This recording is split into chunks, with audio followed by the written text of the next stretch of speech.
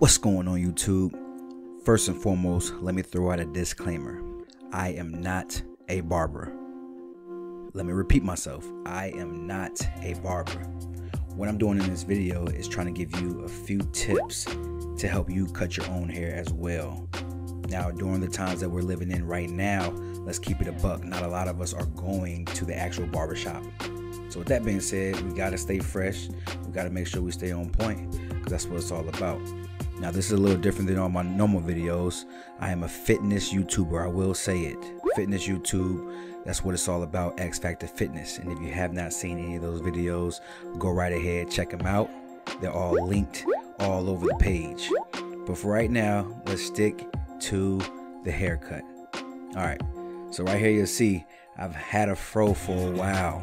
All right, I've had a fro pretty much all the pandemic, the first months of the pandemic. So from March up until about January, let's just say that, right? So what I did a week prior to this cut right here was wash my hair and I continuously combed it and brushed it as if I had 360 waves because that's where I came from. All right, 360 waves. Those videos are all over the channel as well. How to get 360 waves, how to wash your 360 waves, all of that. All right, so make sure y'all check all that out too. But anyways, first what I'm doing is comb my hair. All right, this is what you do before you get a haircut. You comb your hair. You want to lift your waves or just lift your hair off of your scalp.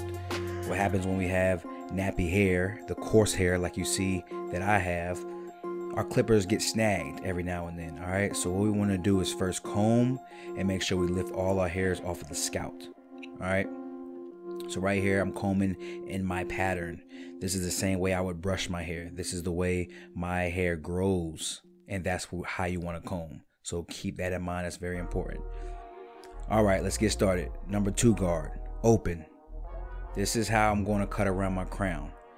Now, it's important to know that around your crown there's normally less hair.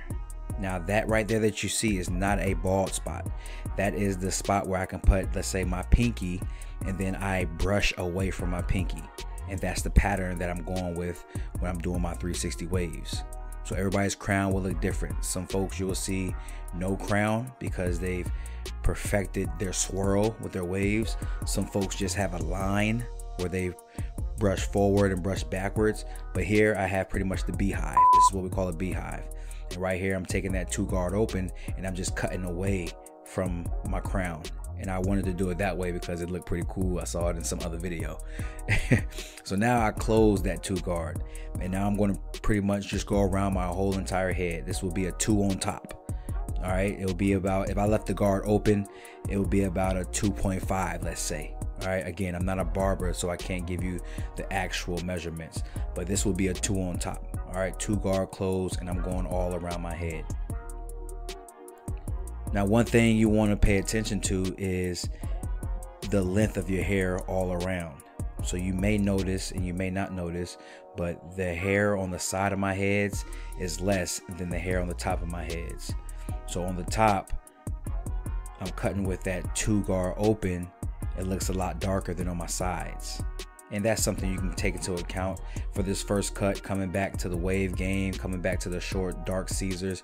I'm not too concerned about that right now, but normally I would take a 1.5 open on the top and then I'll keep that two guard closed on my sides all right just to make sure everything stays even. But like I said not too worried about that with this cut. I just wanted to make sure chop off the fro get all the get all that that hair off my head guys. It's about time. It's about 12 months of a fro. I did the curl top the sponge top and it was cool you know. I, I took some time away from wearing a do-rag which is ideal. It was jacking up my forehead let's be completely honest you know what i mean? But taking a break. And as you see here still got some waves. Not bad. Not bad. After a year of not brushing i still got a, a few baby waves. It looked like when i first started. Actually it's not even as bad as when i first started my wave journey which i think was like 2017 maybe? It's a video up there on my youtube channel somewhere. Maybe i'll link it for you all but i do encourage you to search around my channel. I got some good videos good content and actually the videos are getting better and better because my production is getting a little bit better. Microphones cameras lighting everything like that But anyways, yeah, just chopping up all the hair, man. You want to make sure you get it all off, and then you brush all your hairs down. Make sure you you check for any missing sections. You know what I mean? There is a slight chance that you need to go back over and cut some more, which I did have to do. It's not in this video, but I went ahead and brushed down uh, just to you know check off all the sections and check out the waves, see what they're looking like. You know, this is my first time seeing my hair like this in a year. All right. All right, so now we're gonna take the one guard and we're gonna close it. No, we're not. We're gonna open it. And so what's gonna happen here? Now I'm chopping off the hairs on my hairline. All right, we wanna bring that hairline just to make it a little bit more crisp when it's time to line it up. And so we're chopping off that hair, chopping off that bulk that's on the hairline. So this is very important for a lot of you folks out there with shorter hair, trying to get that dark Caesar. Even if you just have you have these waves that you want to make pop, you got to make sure your hairline is legit. All right. Now we get into the hard part, man. This is well, it's not a hard part for some, but it, it can be pretty difficult. So what I'm doing here, I'm going to start fading. All right. So this is my first line. I'm taking the Andis clippers and I'm drawing that first line. Now you won't see a lot of people do it this way and especially because it's kind of hard to get get out that that sharp line right here. All right, so if you aren't comfortable, do not do it this way. But this is a legit way to make sure you start your fade where you want it, and that's exactly where I want it, right there at the not too much at the top of the ear, but right there, you know, right above the sideburn, whatever. Now with the no guard closed, now it's time to trim out that line just a bit, and we're starting a new line. So you trim out that line, you start a new line. This will all come into play soon. Coming to the end of the video, you will see how it all turns out. But you start with that Andis line, and then with the no guard, you make another line. Now we're going to take the one guard and we're going to close the clippers and we're going to do a little flicking motion, flicking out that second line we just made and trying to grow another line or trying to develop another line. So that's what we're doing right here. And like I said before, it's not going to be easy, guys, but the more and more you cut your own hair, you practice with these fades, you'll just get better. So as you see, I open the clippers up and now I'm going to again flick some more just to go a little deeper up.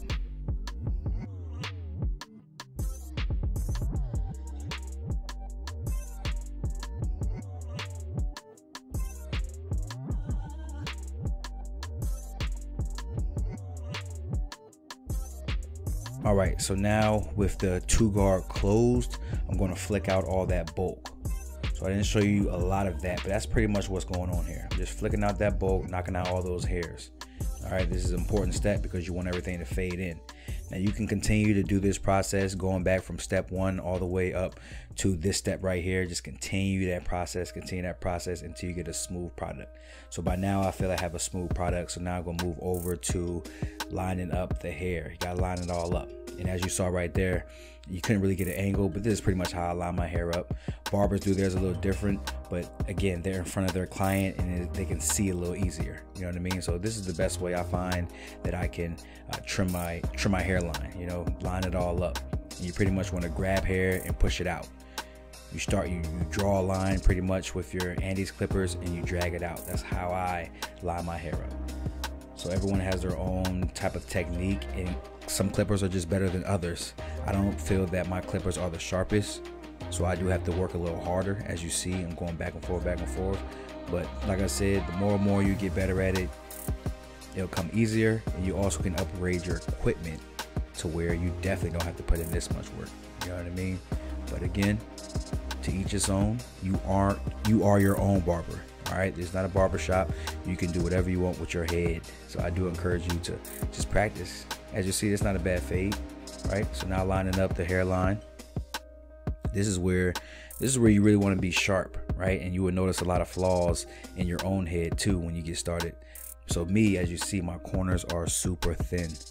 Absolutely hate it. You know what I mean? I'm 30 years old, so it is what it is. But they are thinning. All right, it is what it is. I'm content. I've accepted it and I'm gonna take it.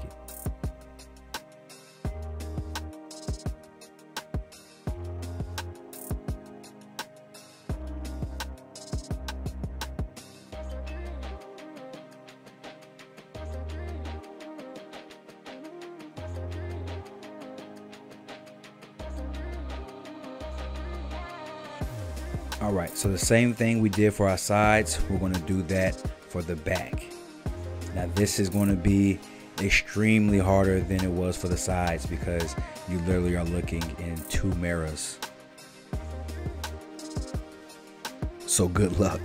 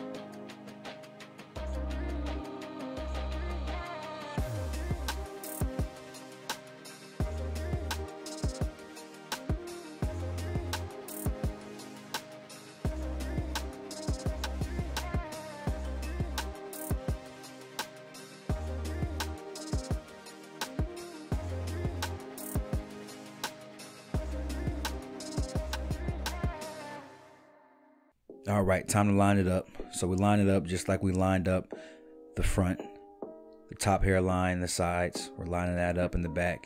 Again, this is going to be a little bit harder simply because you're holding a mirror and looking into another. But trust me, you will get better. Now soon you're going to see me with some enhancements, all right? Now my hairspray is not as legit as the barbers, so bear with me, all right? But like I said before, that hairline needs work. All right, my corners are thinning. So you're going to see it. Pause it if you need to. You're going to see it.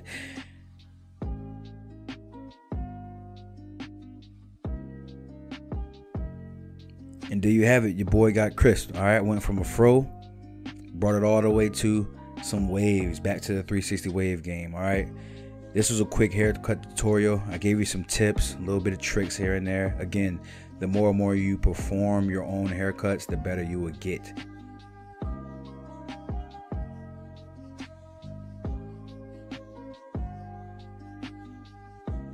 Here you'll see me knocking off the frizz. Be careful with this one, all right?